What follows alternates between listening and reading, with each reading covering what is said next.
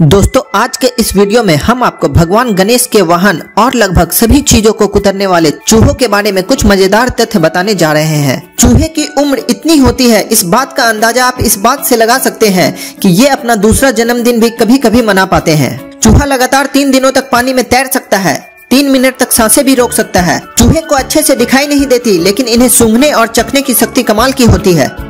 चूहा उन जानवरों में से एक है जिन्हें सबसे पहले अंतरिक्ष में भेजा गया।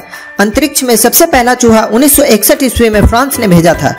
इंग्लिश में चूहा को माउस, रैट, माइस कहते हैं। माउस संस्कृत के शब्द मस्त से बना है, जिसका अर्थ होता है चोर। चूहा अगर 50 फीट, यानी कि पाँच मंजिले इमारत से भी कूद जाए तो इसे चोट नहीं लगती। चूहा बिना पानी के ऊट से भी ज़्यादा समय तक रह सकता है।